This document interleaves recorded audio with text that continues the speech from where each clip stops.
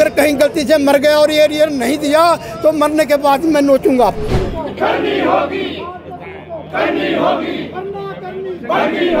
लेकिन सुख की सरकार आज दुख में बदल गई कि 90 और अस्सी साल के लोगों को यहाँ धरने पे बैठना पड़ रहा है।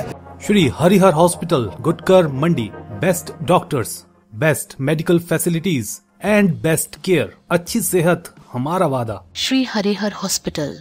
माननीय मुख्यमंत्री महोदय, आपको बार बार मिलने के लिए, नौ बार हमने कोशिश की आपके कार्यालय में जा कर के कि हम अपनी समस्याओं का समाधान आपके पास जा कर के बैठ कर के मिल कर करें। लेकिन बड़े दुख की दुर्भाग्य की बात है कि हमको कोई समय आज तक नहीं मिला। आत्मा राम जी और मैं, हम सारी सारी कार्यकारिणी स्टेट की आपके समक्ष खड़ी रही, लेकिन आपने हमें समय नहीं दिया।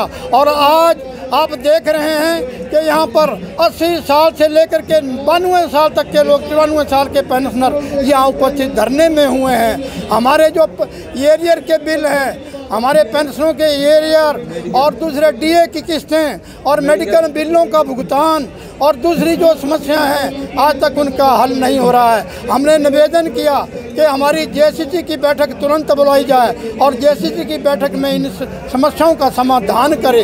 लेकिन माननीय मुख्यमंत्री महोदय, आपको समय नहीं मिला। हमने सोचा कि सरकार परिवर्तन हुआ है, कि लोगों ने कहा कि सुख की सरकार आई, लेकिन सुख की सरकार आज दुख में बदल गई कि नब्बे और अस्सी साल के लोगों को यहाँ धरने पर बैठना पड़ रहा है। मैं अवगत करा देना चाहता हूँ, मुख्यमंत्री जी, ये सरकार इतने दिन नहीं चलेगी, इस बात को भूल जाए। कि हम लोग बिखरे हुए हैं, बिखरे हुए नहीं हैं। सभी लोग जानते हैं कि ब्लड का रंग जो है, खून का रंग लाल होता है। सभी पेंशनर यहाँ उपस्थित होकर के हम लोग यहाँ धरना दे रहे हैं। ये प्रथम चरण है।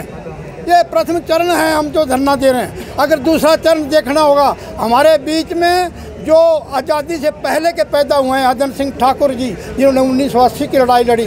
गिरजा गौतम जी यहाँ उपस्थित हैं जो नब्बे नब्बे साल के लोग बैठे हैं आज। ये बड़े शर्म की बात है सरकार के अंदर ऐसा कभी भी नहीं हुआ। ये पहली तारीख को जब पेंशन जो है पेंशन मिलती थी पहली तारीख को लेकिन ये क्या फैसला हो गया दस तारीख को? पेंशन दो। ये हम आपसे कोई भीख नहीं मांग रहे हैं हमारा अधिकार है। हमने तो निवेदन पहले किया है। अगर सरकार हमारी वार्ता को जेसीसी का गठन करके जेसीसी नहीं बुलाती तो अगला उग्र रूप अगर देखना है तो देख लेना।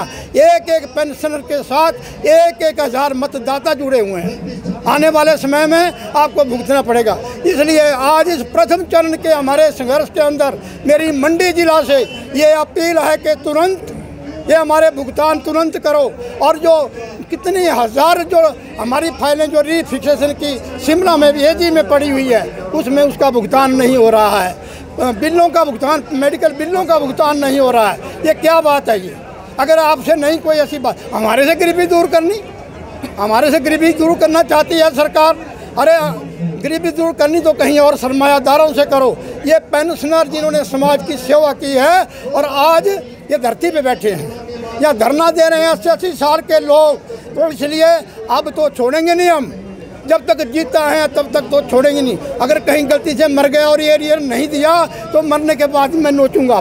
फेसबुक पर पोल स्टार हिमाचल का पेज लाइक करें और यूट्यूब पर हमारा चैनल सब्सक्राइब करना ना भूलें।